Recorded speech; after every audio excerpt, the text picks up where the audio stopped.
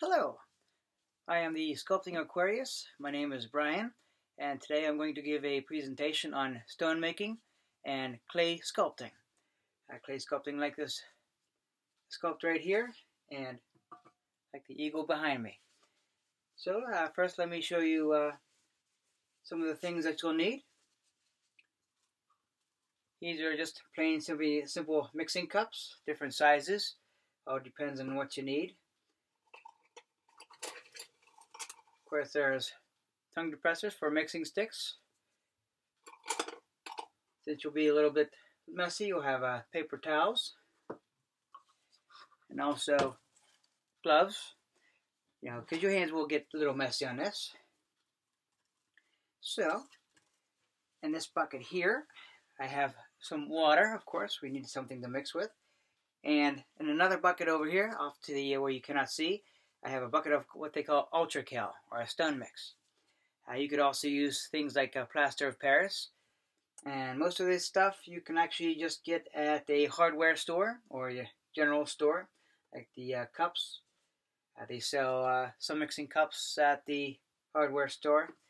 Uh, plaster Paris can be bought at the local art store if you if you want if you'd like to get it there. That's all depends on you.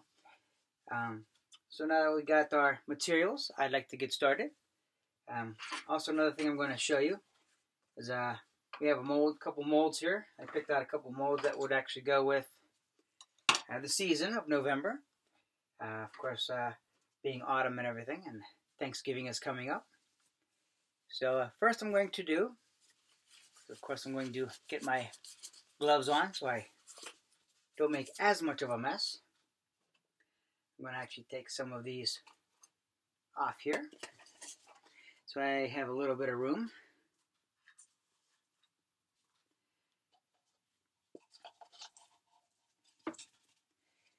So I have a cup here I'm going to mix with.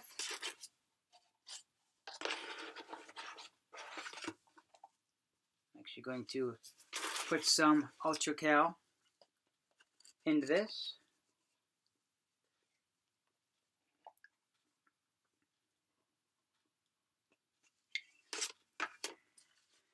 You might be able to see, it's just a plain white powder. And now I'll have uh, get some water here. Now water tends to go a long way with mixing of this, so you don't need a whole lot, depending on, of course, your what you're making. Pour it into the cup.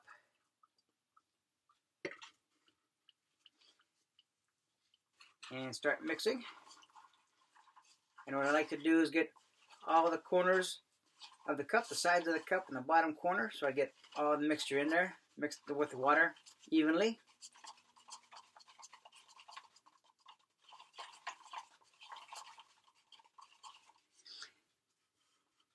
And what I'm looking for is basically uh, like a muddy kind of consistency.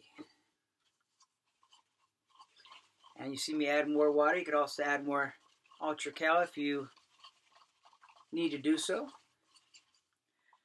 Now I'm hoping you can uh, see see in there. See the consistency of it. Now I have my molds in place already. You always want to make sure your molds are flat against something so they don't tip. Of course, if they tip, you might spill the contents onto uh, whatever surface you're on. So a good thing, a good practice to also have is uh, if you have any plastic to put down or maybe newspapers even, or something that uh, not totally important, so that when you pour, if things happen to uh, get a little bit messier than need be, you can uh, not worry about the surface that it goes onto.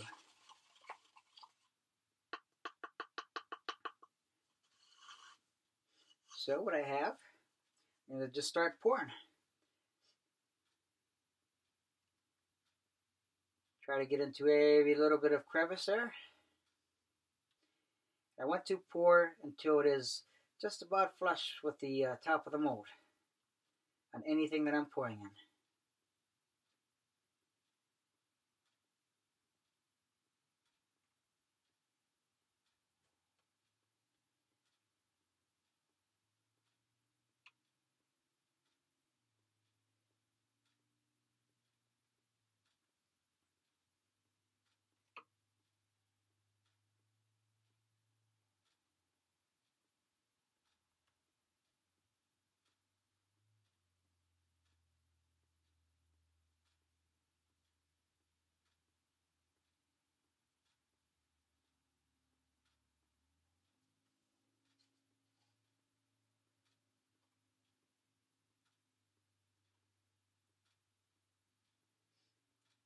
It seems as though I could use a little more, but that's okay. I can actually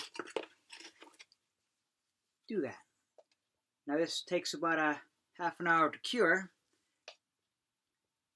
So it would be no problem to actually add more without worrying it that it will cure too soon. While making my second batch of uh, UltraCal mixture.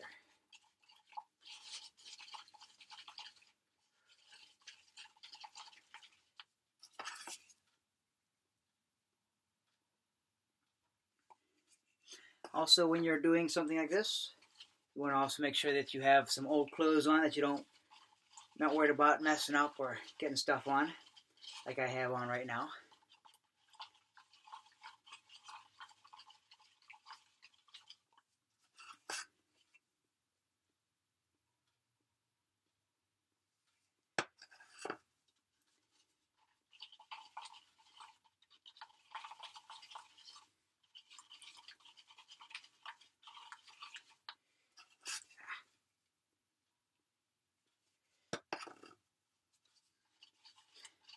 Again, making sure I get the whole bottom of the cup and the sides of the cup.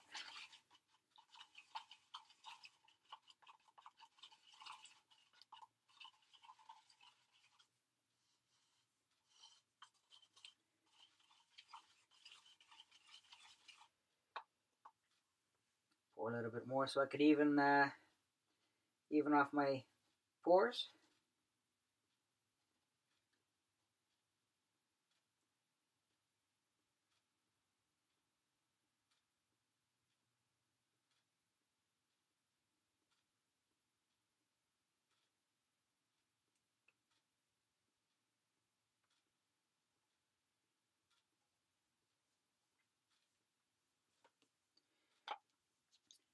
All right.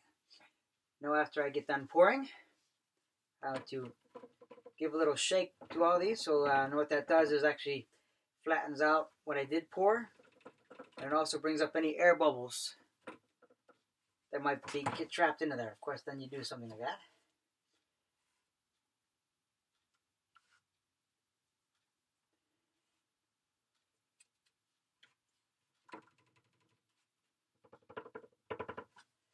Do the same with this one.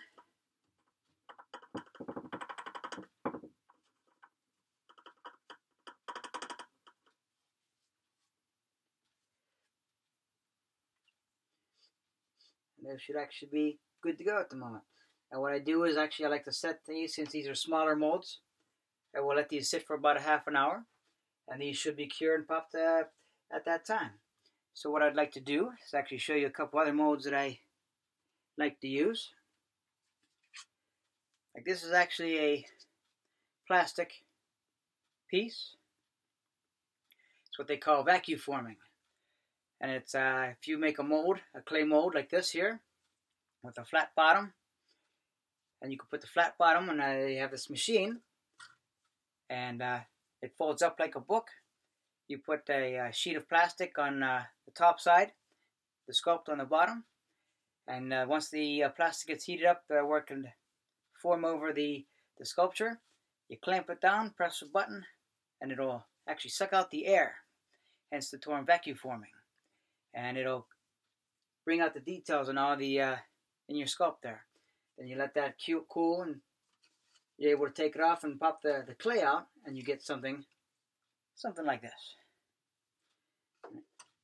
And you could do that with uh, pretty much any sculpture that you that you do. These ones actually here for demonstration purposes, I like to get uh, at a, uh, there's a candy shop that's not too far from me. So I get a couple candy molds so I can demonstrate uh, to an audience. Or uh, if I have a couple people that I like to try it, they could also try it and they don't make too much of a mess. And they get to keep whatever they make whenever I do it uh, on hand. On hand.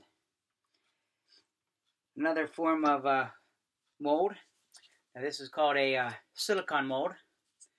As you can see, I've already poured uh, some UltraCal into there. So it should be actually cured up already.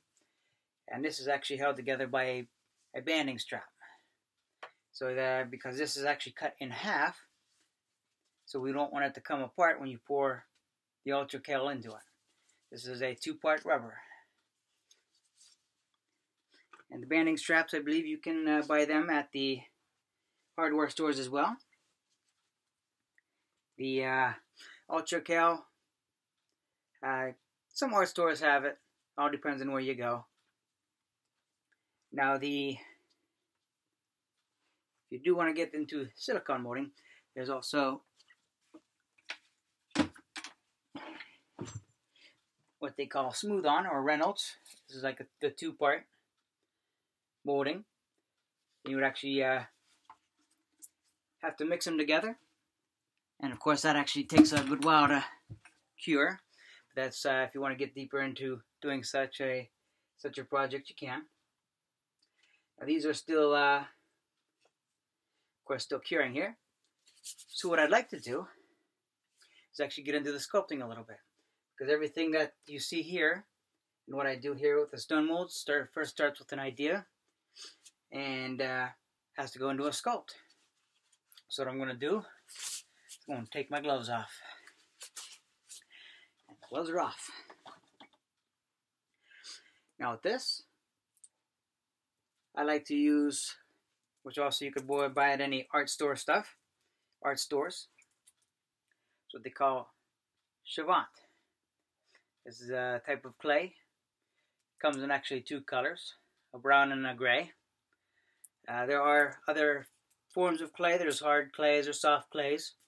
And they come in different colors sometimes too. You can go to Michael's and get a lot of different forms of clay as well. And of course you could always go online. And if you're going to do some clay,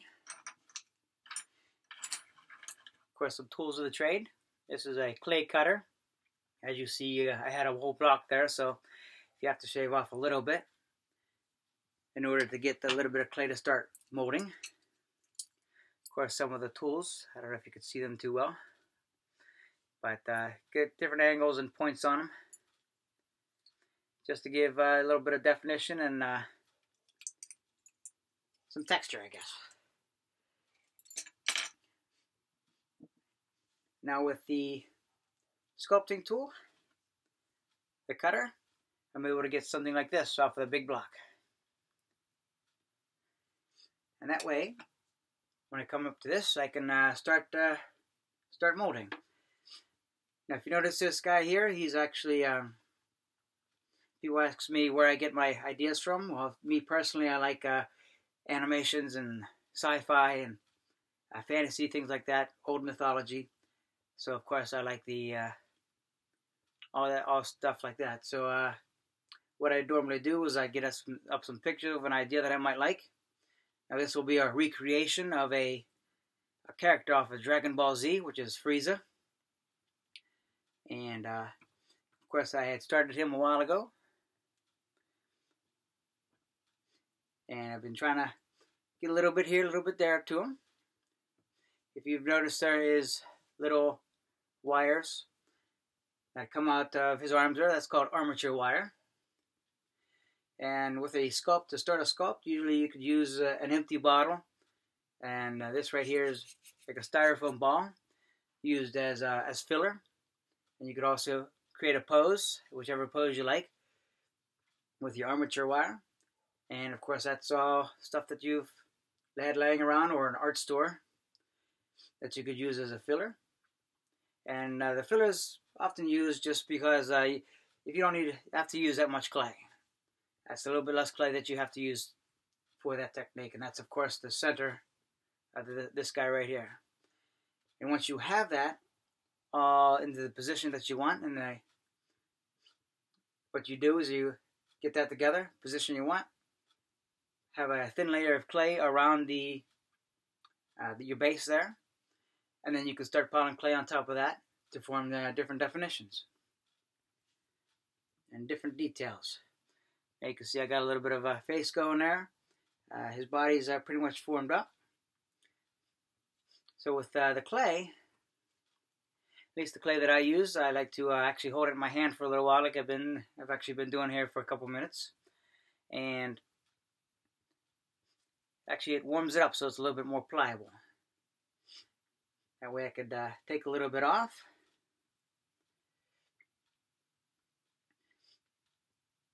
and I could actually start detailing uh, however I'd like. So let's uh, see if I can't make a couple more details, a couple more abs down here.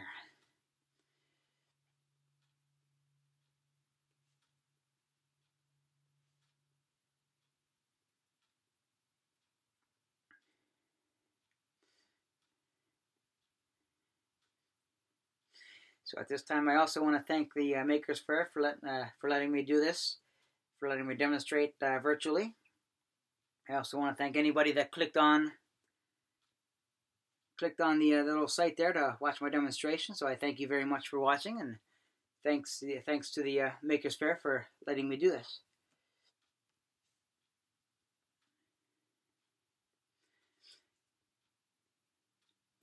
Now this isn't nearly as messy as the uh, the ultra cal making, but uh,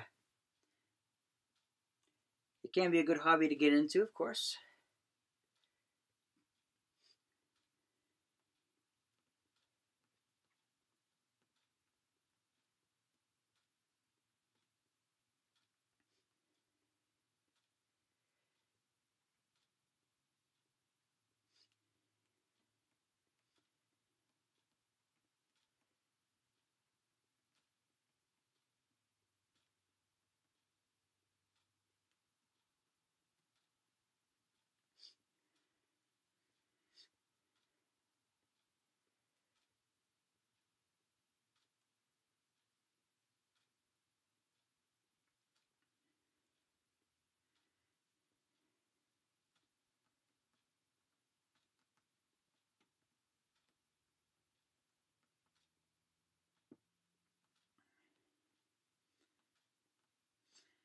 Alright, so uh, that's basically the, I get the gist of it, how you actually add on. And uh, as you go along, you'll decide to uh, add here, add there, add extra details into there. Now this guy right here is, he might not be exact, but so he'll be a recreation of, uh, of Frieza. Uh, one of the forms that I have done, and actually completed a little bit, is of course, say hello to my little friend. This is actually uh, my Baby Yoda rendition. so, and of course, I have my own uh, my own sculpts as well. I like to compare what I can do to what other people have done throughout the movies as well, so I can recreate and uh, see how good my skills are as well. but uh, that's basically how the uh, how sculpting works. And you can pretty much use any tool. You don't really have to use any specific tool. Like this right here is actually a, uh, a knitting needle. So you could actually uh, make some marks into it.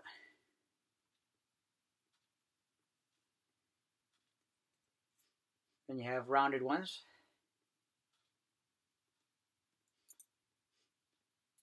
All kind of stuff. And uh, you have this one here that could actually uh,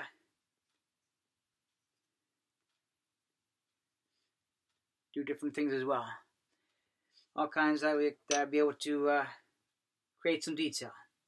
And if you don't like it, you can always buff it out. Just like that. Well, sort of. but, um, yeah, so everything like this uh, helps create the stone molds. What I would do with this, if I wanted to make a statue out of them, is I would use the two-part uh, silicone and I'll be able to pour around them and enclose it so it, uh, of course, all stays there and probably about 16 hours it will cure and I'll be able to take it off. As a matter of fact, I'll show you with this one here. So I could actually take this off.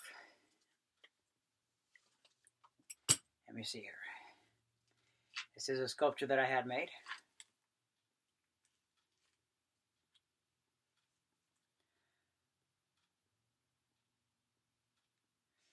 That's one side, and the inside was this right here.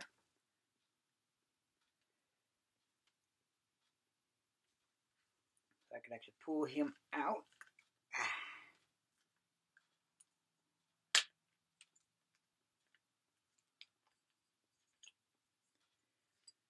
It looks like that. Like a Christmas tree. So I will put him down there.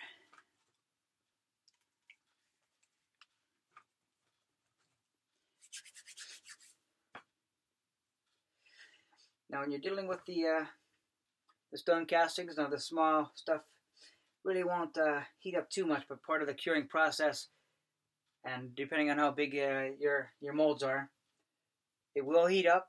Like I said, that is part of the the concept, the uh, the curing process, and that is natural. That it, uh, if you feel it, these aren't hot, these aren't warm at all. It shouldn't get too hot, but they should be warm to the touch. Now this guy here says he was uh, a lot of stone mix. He's going to produce a little bit more heat. So always uh, be a little bit careful when uh, handling your stuff there. So let's see here. I do also want to show you something that I have created a good while ago that I have finished last year. Show you how what kind of detail there there can be. Of course, this guy uh, did take me a while.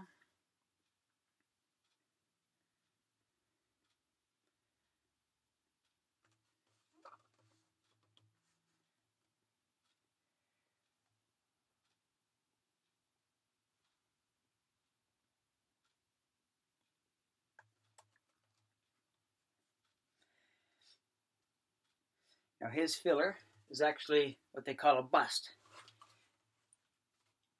or like a mannequin head. Starts off with something like this. That's just a plastic one. That's a styrofoam one there. You can also use stuff like paper mache. Uh, also, like expandable foam was another good thing to use for fillers. But it all starts with something like this. And when it gets through, you might not even look like this at all, but like the uh, like the sculpture I just showed you. But uh, it's an example of some filler. And it's actually much lighter as well. If you use a filler as compared to clay, clay of course will weigh itself down and you might have some trouble with the weight. So you'd want to sculpt accordingly. Of course using uh, whatever you see fit there. And of course with experience, with the experience uh, comes, you know, the, uh, you know what to do a little bit. And yes, I still make messes from all the time. For most of the time, I'm making a mess. What this is here, I can't really see it in the light too well. Pikachu. He's actually a two-part plastic, which is something you something you could also do.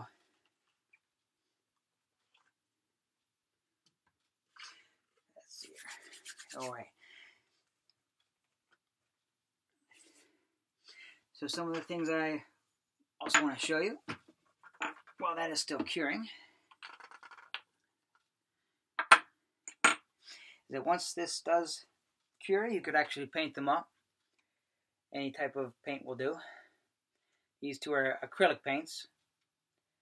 You can see that these are, you know, Michaels or Walmart or things like that paint brushes. You could use oil paints, fluorescent paints, glow-in-the-dark paints. And this is also a form of like a vacuum form. You can find this at a cake shop. But I wanted to show you that uh, you can use just about anything, uh, even if you didn't make the sculpt itself. Do a little ghost, yeah. Since Halloween just passed.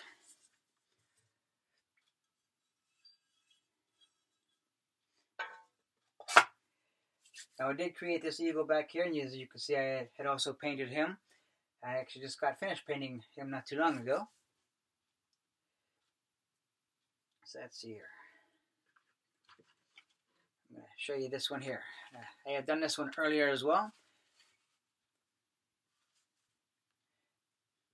So like I said, it's almost Veterans Day, so I figured a flag is usually good. This is how you attempt to pop it out.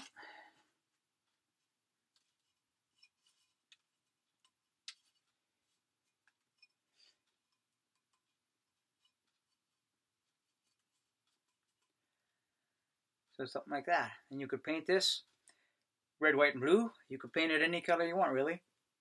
You can uh, use UV paints and put it under a black light so it glows at night. But that's something like you get from here. It's the same kind of concept.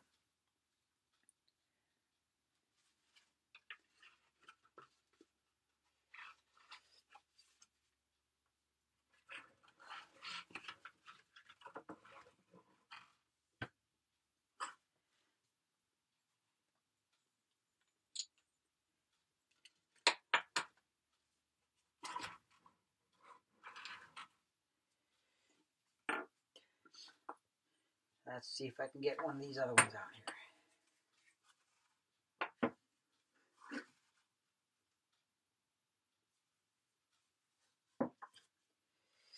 Looks like they're still they're still curing, so what I will have, just in case it didn't cure,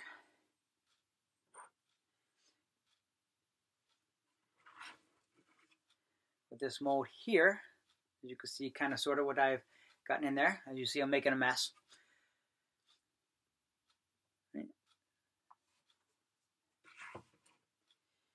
Is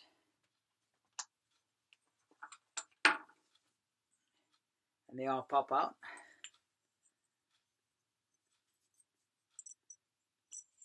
The pumpkin, acorn, maple leaf there.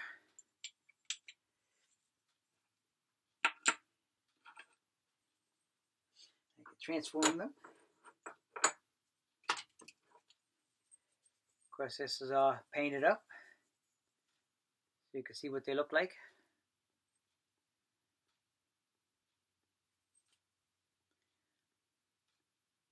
Yeah, little pumpkin there. And this is a good activity with uh, kids. It's not too uh, not too hard to do. Uh, kids should be able to love it. Um, I've been at a few maker fairs myself, uh, showing kids how to do this, and they always get to keep what they what they make. And uh, I've been around. I do uh, private affairs as well, teach people how to do it, and uh, they have some fun with it. They get to make whatever they want. Like I said, I usually bring the uh, uh, the the cookie molds, the candy molds out for demonstration purposes, and it's a little bit faster than being able to sculpt something and and create and people have uh, have a little bit better knowledge. I guess so this is uh, Thanksgiving there, my little Tom.